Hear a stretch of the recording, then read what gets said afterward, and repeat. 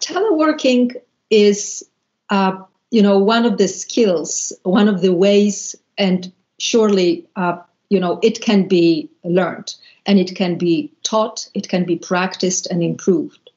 But indeed, we need to unlearn certain things. And I believe that one core element that I witness quite often is dominant when it comes to public administration, but also in the private sector in very hierarchical, bureaucratic organizations, that it's a question of control.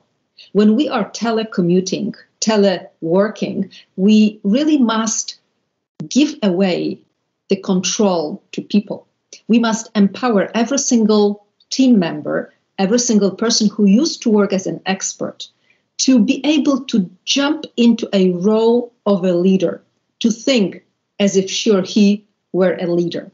And I believe that this is very hard to do because people, you know, uh, are seeking security. Uh, they are seeking a sense of belonging.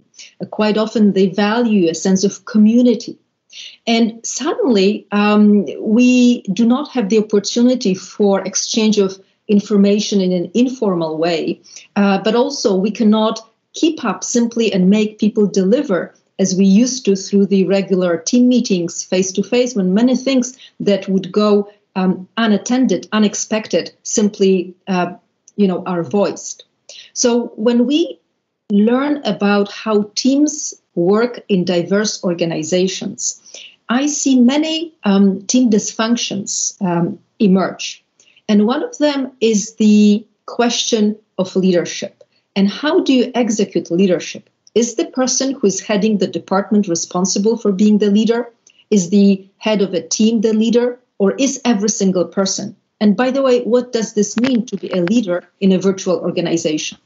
So, my question I ask is it's just a skill, it can be learned. But what kind of leadership do you need if you're a public administration?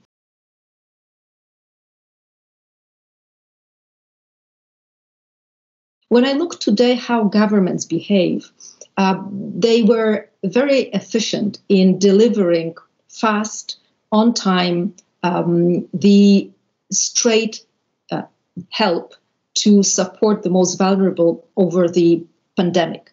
Uh, people were given money, uh, people were giving support. Everyone sensed that there was a, a community to deliver uh, a safety net that we all need to become a part of. But I agree that protect is the necessary short term policy. But how about the midterm and the long term? In the paper that uh, we, as the expert group to um, European Commission published last year on the post-COVID recovery strategies, uh, we advocated that governments need to protect, but also need to prepare and need to transform.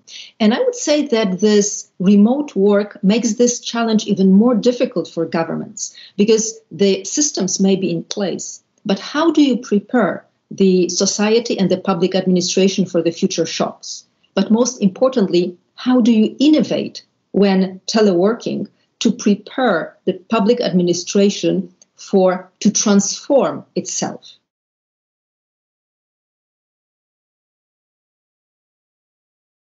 The future of work in the post corona world is not predictable because there are so many interdependencies that it's really impossible to extrapolate the trends towards the future. The only trend that we know that the speed of changes will accelerate. Now we also can draw conclusions how governments around the world behave. For example, what is the level of solidarity in the global um, citizenship, in the global community? To what extent are we building walls? But I think that the future of work also will open certain unexpected opportunities for individual workers. I think that assuming that as, as data shows over 40% of organizations will continue to have um, 40% of the workforce on some time of telework um, setup, I think that really the mobility will become a big future. Now, we are human and digital. So, uh, what is important is that this physical connection matters.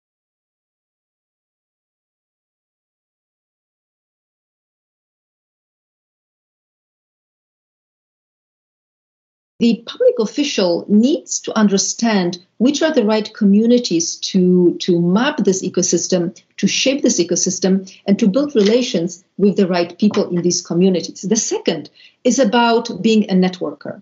Working remotely, teleworking, requires much more attention to building the social tissue, the social system around us.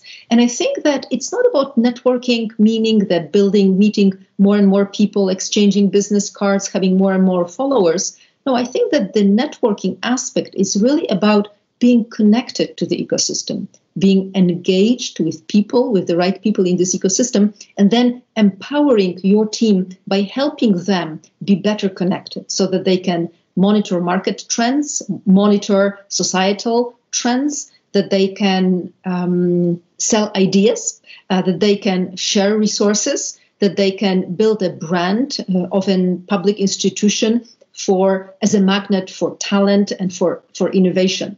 Then I believe that it's necessary uh, that people are orchestrators. I think that the importance of the implementation has never been stronger. Now, implementation before was about linear project management. Today, it's really about simultaneous juggling of many projects in which probably we have different roles. So it's about communication skills, about collaboration skills, digital communication and collaboration for diversity that we can orchestrate different projects at the same time. And finally, this dimension of influence. Now, people think um, I don't need to be a leader. I don't want to be a leader. I don't want to be an influencer. Now, I am challenging this because I believe that when we're in a shift to a new way of working, which will probably stay with us to some extent, in a hybrid organization, partly online, partly, partly face to face, there will be many ruptures. And every single team member needs to be connected to the decision makers who are at the top of the of the organizational chart, but also to those informal influencers who can help keep track and keep the pulse of the organization, who can keep up the team performance, but foremost, who can build those muscles to prepare the public administration to serve the society for the future shocks and then to transform itself, to reinvent itself to become the government of the future.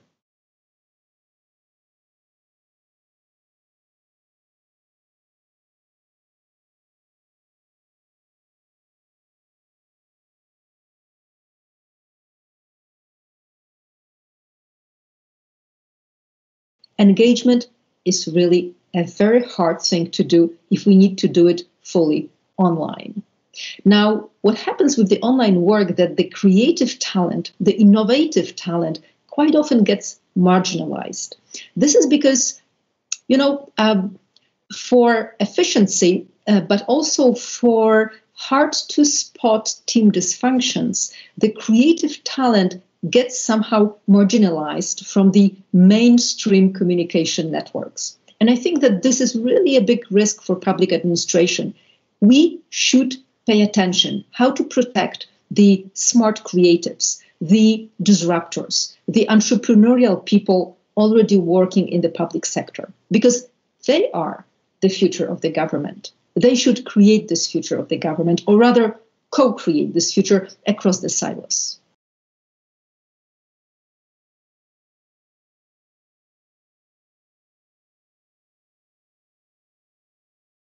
Indeed, I agree that as data shows, the innovative capacity of organizations is affected strongly by a simultaneous massive shift to online work.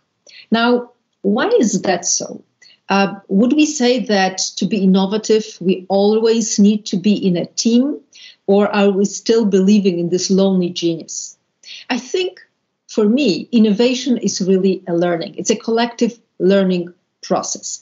And the more people we engage in this process, the faster is the feedback loop. So the faster we can accelerate and improve the innovation. Now, does this need to be done physically? Absolutely not. And I think there are amazing examples where smart creatives, people working digitally, can produce amazing solutions. But what is true is that there are definitely limitations in building trust between people.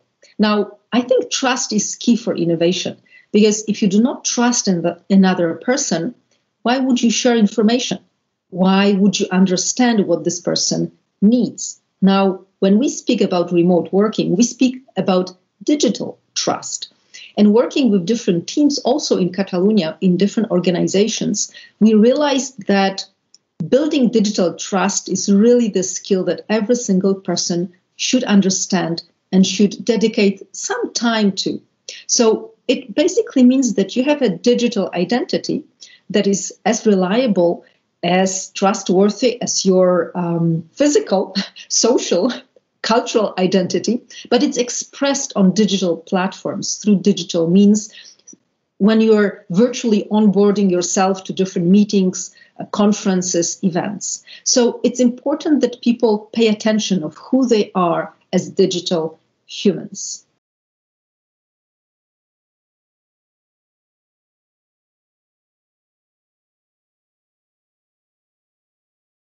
We do need to have governments and public administration change not only the structure, not only the policies and governance mechanisms, but also the leadership style and the culture of the government. Move away from the top down, from hierarchical, from closed, from silos, to very much open, very much collaborative, very much innovative, and foremost, very much entrepreneurial in how we come up with new solutions for a better future.